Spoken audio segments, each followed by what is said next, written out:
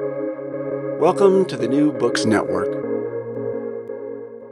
Welcome to New Books in Critical Theory. It's a podcast that's part of the New Books Network. On this episode, I'm talking to Marcos González Hernando and Gerry Mitchell, who are the authors of Uncomfortably Off Why the Top 10% of Earners Should Care About Inequality. Uh, so, welcome both uh, to the podcast. It's, it's great uh, to have you on talking about this. Uh, I think incredibly important uh, and incredibly uh, timely book. Um, a book that I think um, is relevant, obviously, in Britain in the context of inequality uh, and politics and society in Britain, but actually speaks to so many uh, different global um, societies. Um, and I suppose the place to start really is with the title. Um, and I wonder, maybe we'll start with you, Marcos. Could you kind of introduce who um, the protagonists of the book are? Who are the top ten percent? Um, who we who are we talking about here? Um, yes, sure. So the top ten percent of earners uh, are interesting group for several reasons. One of them is that if you look at uh, all the research on inequality, all the research on sociology, attitudes, etc., uh, when you try to group different parts of the population to try and understand how the variable of income interacts with others, generally you make the cut of the top 10% or so in deciles, basically. But that top decile is perhaps the most diverse of all, all the other deciles because it includes people who, for example, in the case of the UK, and as a person personal income just above around £60,000 per year, and billionaires.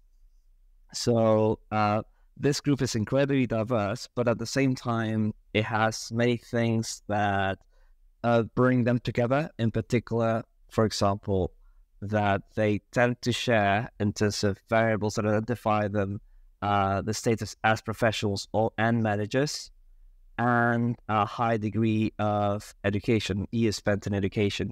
So even though most professionals and managers are not part of the top ten percent, uh, most of the top 10% are professionals and managers.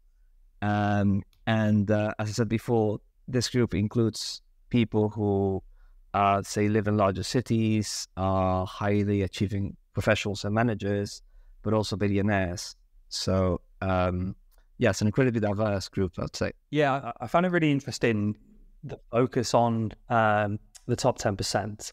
Um, I think we're, we're quite used to in the last, where are we sort of uh, 15, maybe even 20 years, thinking about the 1%, you know, thinking about, um, as you've mentioned, you know, the sort of ultra rich, uh, both in kind of politics, society, but also, you know, in terms of cultural representations, uh, perhaps as well. But actually extending this and, and, and thinking about this top decile um, is incredibly productive in, in, various ways, as we're going to talk about um, over the course of, of this episode. The other thing, I guess, as a kind of introduction, you, you both stake out really um, kind of clearly um, your sort of viewpoints and and I guess um, I was going to say the baggage you bring, but that's not the right word, is it? But the kind of backgrounds uh, you bring to the research, and maybe uh, Gerry, you, would like to say uh, to begin with, what, is your kind of viewpoint? What's your approach to the research, and then we'll we'll hear the same from Marcus. I think baggage is, is actually quite a good word. Um, well, my drive to write the book came out of um, sort of a long running interest in um, sort of break it down to three issues. Number one, obviously, inequality. Um, but as importantly, uh, number two, the lack of. Um, so I spent almost 11 years working, studying, and then working at LSE. Um, and number two is really the lack of integration of political and economic factors and our analysis of modern society, and the, the particularly lack of critical political economics. So you know, academics from one discipline are not always given the confidence and tools to ask difficult questions of economics. You know, in economics, when I studied and researched, and it may well have changed, um, it was sort of portrayed as some kind of natural science um, rather than coming with a whole load of assumptions, just like any other subject. And you know, none of this was crit- critiqued how it translated into wider society. Um, and then when I came out of academia, um, I got involved in local politics sometime after, and I found the same thing there. No one um, had the confidence, you know. So you've gone from some very privileged and entitled contexts, and then you're in lo- local politics where it's a combination of people in terms of education and, and experiences. Um, the same sort of lack of confidence in being able to critique, particularly economics. Um, and uh, thirdly, um, from, from a very personal experience, that's where the baggage comes in. Um, personally experienced the top 10% ways of thinking and their consequences. So, meritocratic explanations of success would be one of them. Um, you know, I've spent years um, studying others in, in, in the us and them, um, but there was no inter- interrogating, as we put it in the book, of the us. Um, there was a sort of, as we put it in the book, a tacit acceptance um, of a commonly held but rarely voiced view that if you're a, a high income earner, you've proven yourself worthy of being in charge of your own life and politics, and the state should just leave you be. And and that was as true of you know the lecturers who were teaching us and the, you know the mentors that we had doing our PhDs and and and whatever um, as anyone else. So this book is arguing that's absolutely wrong. The you know the social structures affect the lives of us as well as them, and so you know that comes with a whole load of problems. But um, you know the world that we were we were in and Marx is still in and you're in um, still needs to be um, studied. And just to finally, I'd say the book comes from the reality of precarity um, of the workplace and the an associated culture that can't really accommodate the differences and inequalities we research, which is such an irony. So, just as a little example, halfway through my sort of last research contract at LSE, um, I had my first child, and I was asked to go to uh, back to complete the project when actually I wasn't really ready. She was three months old, um, and then because of that, um, you know, rite of passage in my life, that transition, I had to move out of London, and then the precarity of the competitive academic culture was no longer feasible and, and no longer uh, appealed for me. So, for all those reasons, baggage included, I, I, was very passionate about writing something that would encourage talking and questioning across income groups, across occupational groups, about the political decisions that affect us, us all. And what about you, Marcus? yes, I think uh, Gerry uh, covered a lot of what I was about to say. Just wanted to highlight a point that she made that is something that we reflect on in the book as well, which is the fact that uh, in academia and in the world of uh, sort of left of center think tanks, which is where we met initially, um, we tend to uh, start from, as you said before, we tend to focus in social policy either on the billionaires, the top of the top 1%, or on those who are struggling. So we almost tacitly tend to kind of um, exclude ourselves from being part of the analysis because uh, if you think about, say, the senior figures in those kind of institutions, they are part of the top 10% as well. And as Gerry said, uh, there's sort of this implicit, tacit understanding that uh, people like that have, you know, proven themselves to be able to be uh, to take care of their own lives. So the state and politics and policy should leave them be. Uh, we part of the point of the book is to argue that uh, if that was ever the case, it's definitely not the case anymore, and that politics and policy is affecting them, and vice versa. They are affect they they are affecting policy as well.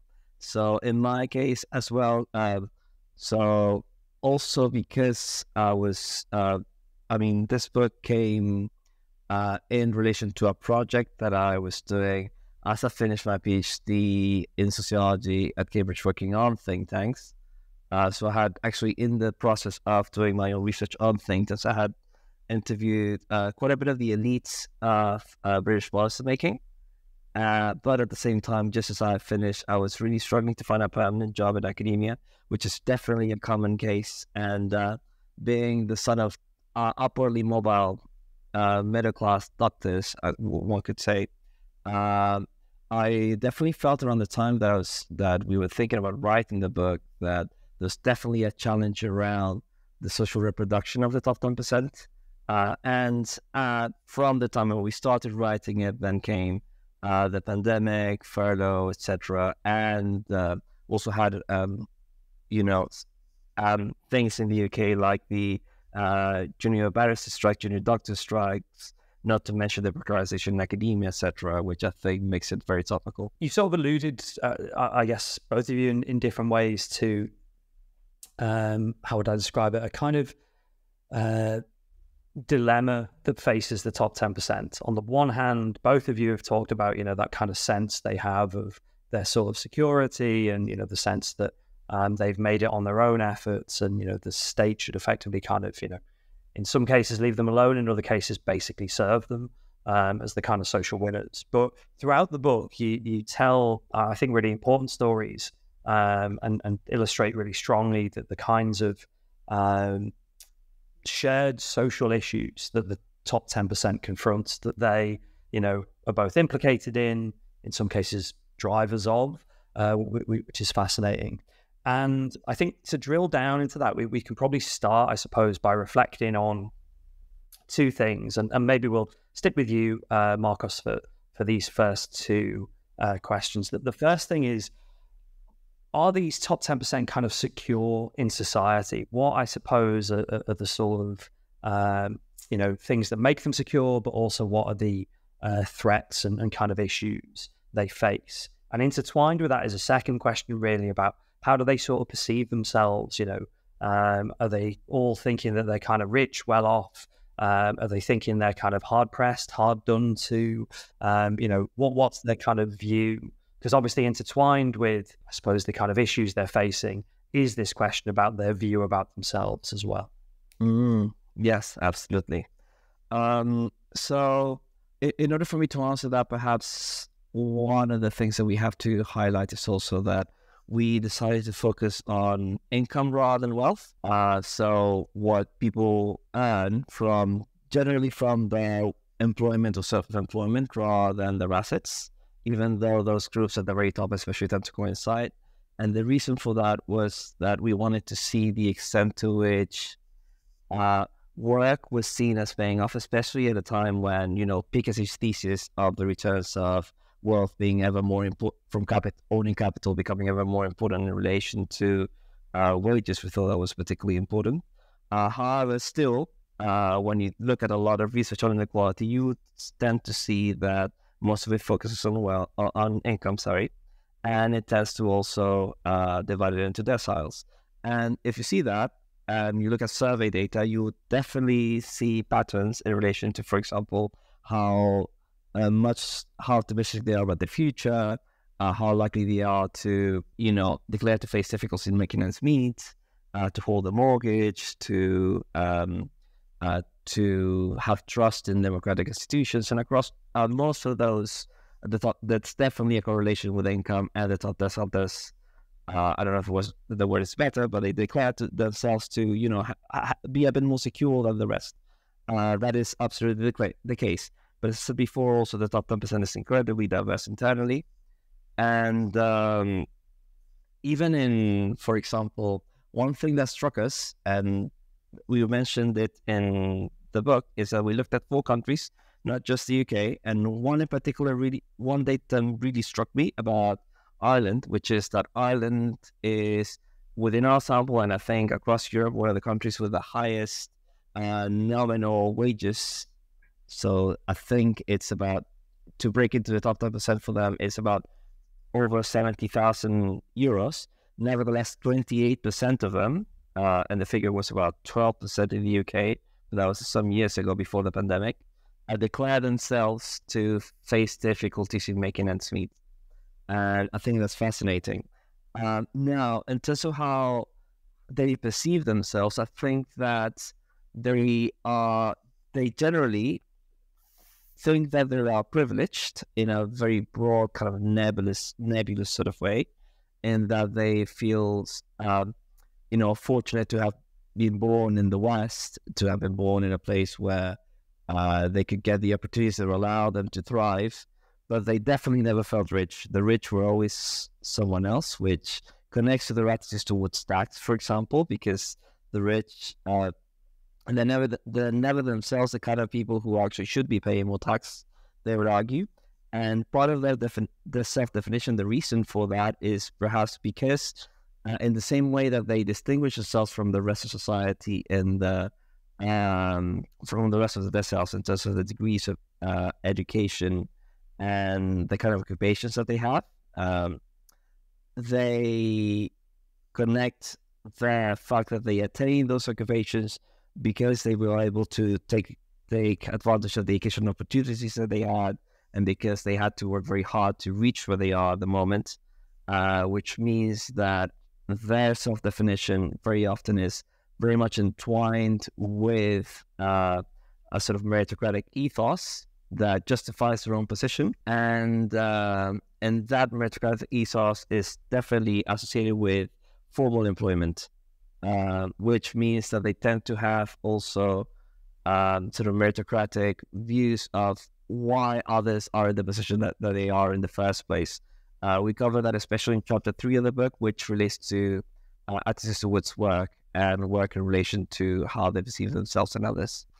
I don't know if there's anything you, you want to uh, sort of chip in with, uh, Gerry, because I, I, was going to pick up um, on their sort of social political uh, views. Yeah, I mean, one of those key findings um, that we sort of alluded to is that um, they know they're privileged, but they also think they're normal. So the top 10% basically assume that most of society leads lives similar to theirs. And um, really, like a really like headline finding from my work also was that very few, if any, knew where they sat in the income distribution. Um, and they also, um, uh, and part of this is attributed to um, being upward orientated. So they they might be working in workplaces which are very unequal, and they're constantly looking at those above them. So as Rachel Sherman says in her in her work, um, they're upward orientated. So they're always focusing on those above them, and and that gives them this sort of this fear of falling that we talk about, um, this anxiety, um, and that links to the sort of difficulty in making ends meet. Um, and they also are aware that work is paying less and less. I think to come on to that. Um, yeah, I'd probably add, add those those things. Yeah. I mean, it, it is fascinating that um, you know sort of juncture where they sit between you know really quite sort of serious fears about social position, but also you know some elements of um, you know kind of self awareness and um, you know I guess kind of recognition of at least some of the kinds of inequalities that have um, assisted, helped, you, you know, baked into to their sort of journey through, particularly as you talk about in the book, that their jobs. At the same time, and I'll be slightly delicate about this, there are some absolutely clueless moments from some of your interviewees. Um, and they tend to be less clueless about politics. I, I thought the politics um, discussion was, was really fascinating, particularly about the idea of them being politically active. But the discussion of tax in particular is not eye opening if you know the kind of context, but um, is and you actually use a really good example of public discourse around um, you know people who have got high incomes but don't recognize where, where they are in, in terms of um, their, their tax paying status. So, sticking with you, Gerry, what are they sort of, I, I suppose, doing in terms of politics? Um, you know, I think one of the headings in, in, in one of the chapters is Are they politically active? And then we'll, move on to talk about tax and money. Yeah. Um, so the vibe we got very strongly coming through the interviews was that they just don't like what politics has become. Um, and that makes them quite nostalgic. So they're nostalgic for they kept kept um, referring to the centre ground. Where where is the centre ground gone? Uh, one of our respondents said everything's far. Um, it's not just in politics, it's in every area of life. There's nowhere everyone can meet. The age of debate is disappearing. Age where you could persuade people of your opinion has gone. Everyone set off down a track. I don't know when it happened. They became polarized. So that yeah, this makes them very uneasy. So that sort of makes them not want to get in, involved. There's a, there's a fear there actually, which we, I don't think we use the word fear, but there is a, a fear of, of getting involved. And um, I, I quote um, another respondent who, for example, wanted felt very passionately about Brexit and wanted to go and protest. Um, lived outside London, wanted to go into London and protest, and his wife said, "Oh no, I'll, be worried about you. You better not." And and and he didn't. Um, so there's that kind of like um, not feeling that they connect to it anymore. Um, but whether they like it or not, as we sort of say near the beginning of the book, they are more likely to vote. So they do have a disproportionate influence on policy, and this is one reason we wrote the book and of course they're overrepresented among the Westminster bubble. Um, you know that they are many of our politicians, they're the policymakers. You know, as we said, they're the academics. Um, so yeah, it's a strange sort of contradic- uh, contradiction. Um, and another really important finding was they're just perplexed. They just don't get the anti-elite sentiments because the, um, the structures that um, they can see are causing such uh, anger and, and resentment and uneasiness. Um, they see them as normal. Um, so you know that that's just the common sense that has run you know been part of their lives so that they they genuinely don't understand um uh and they're also i think but at the same time they're quite frustrated by um the lack of opposition the, the lack of quality in the opposition so like one respondent told quality the, the quality of the opposition is so weak that the system is untenable so they also don't like what the what the whole what the whole system of politics has become even though they don't talk about the decline in our democracy, they they do talk about the need need for an opposition. So, um, uh, what would you add to that, Marcus? Um, yeah, I mean, I was thinking also that um, even though if you look at uh, sort of at the local level, at the top 10% to have quite a strong voice, that voice tends to be quite, I would say, gendered. So I think we have a few quotes in relation to how a sort of the high earning male, for example, would uh, the fact that he earns a lot of money will allow his wife, for example, to uh, volunteer at the local school, that kind of thing. But beyond those kinds of things, uh, because they tend to define themselves through work and through their educational uh, attainment, they generally have relatively little and quite weak relationships with their local community. Um, we especially talk about it. I think it's in chapters three and four. The fact that uh, they they rarely volunteer when it's not in relation when it's not something that could uh, help them in their own careers, and that's partly because of this sort of individ- individualized view of uh, the way that they carry that they carry out their lives, and um, and um, yeah, they especially perhaps around the time whether they're most likely to be earning the kind of amount that will put them in the top 10% that's in the middle of their working lives. Uh, I'd say that. And another thing I would add is that even though, uh, as Terry said, they, one could say, like in very broad strokes, that they were quote unquote centrists and uh, very much tied to a certain view of the common sense in politics. If you look at the data, for instance, on the least deprived constituencies in Britain, they all voted for the Conservatives, even though uh, I can't remember anyone who's, I mean, very few, um, definitely not more than five, who spoke approvingly of, say, Boris Johnson or the state of the Conservative Party around the time we were making the inter- uh, doing the interviews, which was uh, late 2018 uh, and uh, and 2019, and uh, that's quite interesting. I think that in some ways, and this is backed up by survey data.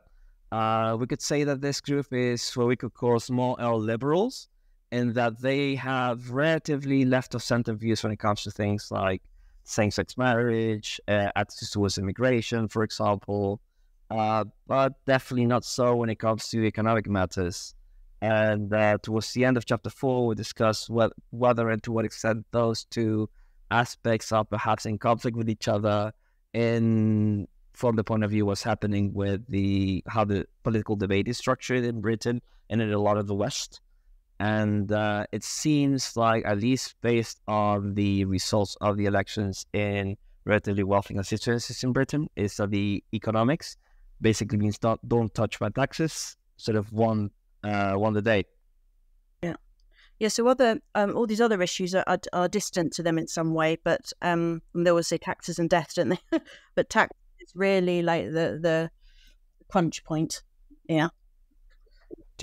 Gerry, do, do you want to say a bit more about that? I mean, partially um, because for a book that isn't, you know, an incredibly serious intervention, as, as you've said, actually in, you know, almost the kind of political economy of contemporary society, the, the tax stuff is at once a moment in the book where there's a bit of levity around the absurdity of some of the positions um, that come through on tax, but also uh, I think you know Marcus just alluded to it. It, it tells us where I suppose the real um, revealed preferences of the top ten percent um, shine through, and in doing so, actually sets up the kind of um, third part of the book where you talk about all of the problems that the ten percent are are likely to encounter and what they might do about it. So, what what's going on with the ten percent tax? Mm. So, um, yeah, as we say in the book, they are the the group most likely to oppose tax hikes, um, and a slight majority are against redistributive policies. Or um, uh, raising taxes, like I said. But um, in the UK, the anti well compared to the other countries in the original research we did, the anti welfare inclination in the top ten percent compared with the rest is really noticeable. Um, so I've got a quote here from Sean. Um, he was an owner of a HR consultancy. I think he was in the top one percent. He said, "If I'm funding people who are sitting at home and don't want to work, then I'm not happy about it. If I'm contributing to people who are below the poverty line, fine. But do I want taxes to go up for higher earners? No, I pay more than enough." Um, so they, they, there's still this this real fear that they're going to be negatively affected by any marginal hike, um, because partly because as you say we, that we develop in the, the next part of the book, they, they don't see that the potential strengthening of welfare and public services will benefit them. They just they don't have that built into their their narrative. Um, so you know, and part of it is this not understanding where they are in the distribution. So you know, thinking that um, that as we said that higher taxes should be targeted on those earning more more than they do. Um, but um, it'd be interesting to know how that how that's changed now. I have to say, um, with all that's happened since we wrote the book, I'd, I'd really really like to do a um, follow up because so many things are um, becoming a lot a lot clearer about the political economy, um, and I think there one thing we do discuss later on the book is they do fear um, that the the next it's the social reproduction element. They do um, see that their that their children are not going to be able to um, that are going to they're going to need redistribution in a way that they they haven't.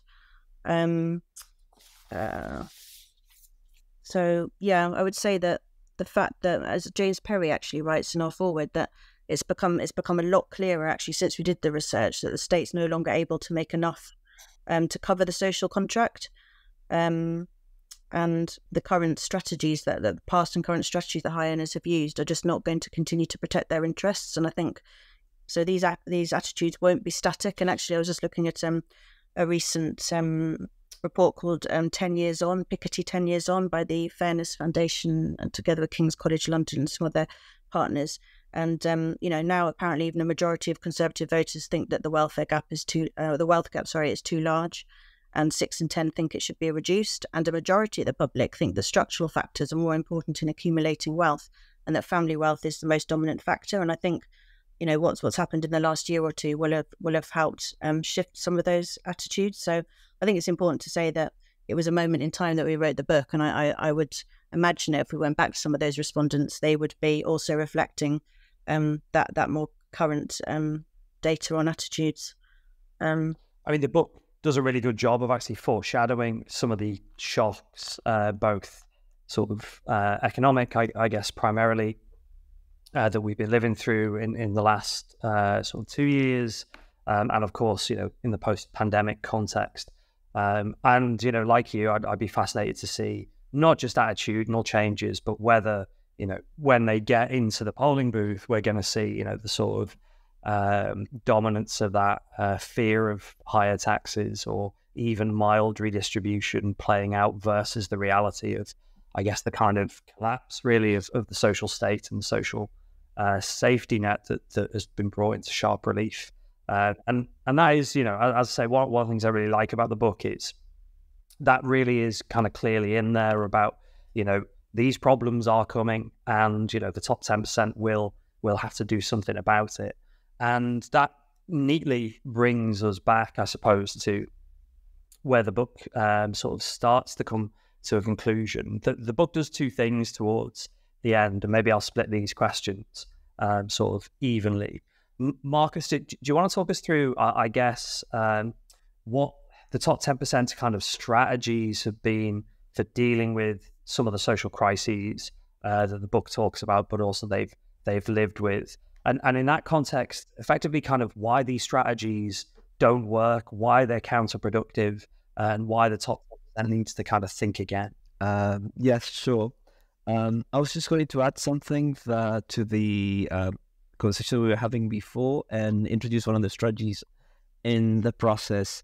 So, what are the barriers, perhaps, to try and understand why the top 10% asked us act as they do in relation to inequality and how their actions sort of reproduce inequality is the fact that they don't tell them to see themselves as beneficiaries of the public sector or as beneficiaries of public services in the first place. So, for example, if you uh, propose to raise their taxes, especially when it's income tax, which is more associated with very sort of meritocratic result of the meritocratic process, uh, they don't see that as benefiting them in any way.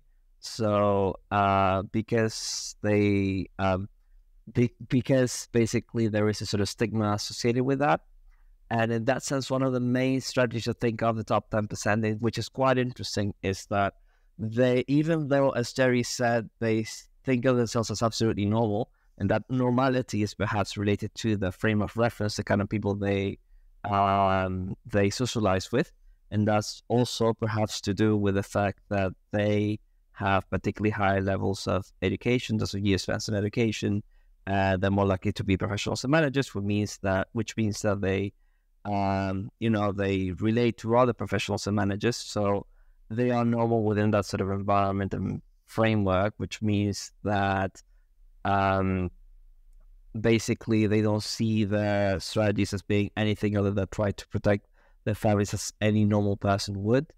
Uh, but at the same time, they definitely create a certain distance with others who maybe didn't have the amount of education that they did, uh, especially those who moved from other parts of uh, the UK to London. Very often had sort of uh, narratives of having moved out. So what that's one of their strategies to move out to isolate themselves, to insulate themselves, etc. One of the key uh, metaphors that we use in the book is that of the uh, bunker. Uh, I think we mentioned the fact that some billionaires are basically building bunkers in places like uh, New Zealand to basic to kind of try and avoid the looming apocalypse but you don't need to have that amount of money to build that kind of smaller scale bunker as things are going, especially during the pandemic, for example, when uh, all of us were more isolated than we used to be. Our lives moved online, and the way that we sort of related to the rest of the world very often was by, um, you know, accumulating, uh, getting, you know, food deliveries to your home, getting your Amazon parcel uh, delivered to your home and try to build as, as much stock as possible to try and allow you to withstand whatever's going to happen in the future. And that, in some sense, you could also relate to the strategies of social reproduction as well, which in some sense uh, mean transforming as much as possible of your income into wealth. And that wealth could be your home. Obviously, it could be savings, but it could also be uh, you know, private education that would allow your children to reproduce as much as possible their position that their parents had. Uh, the issue with that sort of attempt to transform income into wealth is that it defeats the purpose or this mute the whole idea of that the fact that we live in a meritocracy. Gerry, what what might be some more pro-social, if, if that's the right term, positive things that the top ten percent do. You know, we've heard from Marcos about the combination of sort of preppers and, you know, various forms of social isolation that are driven um, often by the ideologies permeating the top 10%. But one of the things the book, I mean, the book is reasonably pessimistic, but, but one of the things the book does try and do um, is point to some more pro social uh, actions that um, the top 10%. And I suppose actually, you know, a restructuring of society might achieve. So, yeah, what what would be uh, the more positive take? Well, I think it's a sort of uh, it's a time for all of us just to have a, a bit more confidence in our relationship with it. It kind of comes back to democracy in, in a way that we, um, you know, a lot of the people we spoke to really didn't have much sense of empowerment, which is strange because they're, you know, they they are privileged. Um, you know, do have this meritocratic sort of narrative. They've done well. You know, on paper they've they've got it all, but they actually had um, you know, actually very little confidence to challenge received wisdom those in power, even if they're enabling wealth, the wealth, or um, working within you know within the world. Um, e- even you know they they're, they just didn't seem very empowered. So um, one of our messages is to, que- to to be able to question question business as usual, question common sense. You know, uh, why is the UK has been getting richer? Most people not being better off. You know, just asking these really obvious questions. Why are childcare costs so much higher than in Europe? You know, maybe look to other countries more um, to have the confidence to do that, to question. Um, so I think that is quite a positive thing because I think that's a message for, for all of us, um, particularly coming up to the next general election. Um, you know, instead of asking why the NHS doesn't perform better compared to other health systems, they could ask, just flip it and say, how does it manage to perform so well when it's so clearly under resourced? Um, and, and also just to try to better understand the lives of others um, by spending, you know, more more time maybe in your community. And I think that is happening definitely since we wrote the book. I think that is, um, you know, a, a, thing that is just happening, and, and that is positive. Um, also using public services without thinking le- less of yourself. You know, don't give yourself such a hard time. Because um, as Marcos said, there was a real sense of status of not needing things. Um, but you know, it's a lot more interconnected than that. So when you're using private healthcare, the doctor who's you're you know looking after you may well have been trained at public expense. Um, you know, we're all interconnected. Um, the business that you know you may be part of running, you know, will depend on the state to keep your employees healthy. So not not seeing a distance, but actually sort of seeing more how we're how we're interconnected.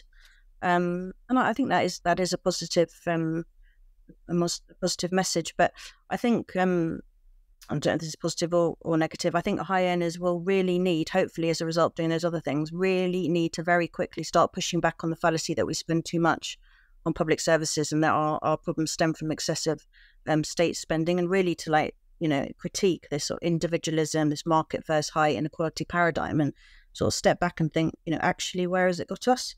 Um, so hopefully, our, our book will sort of point them in the direction of asking asking some of those questions.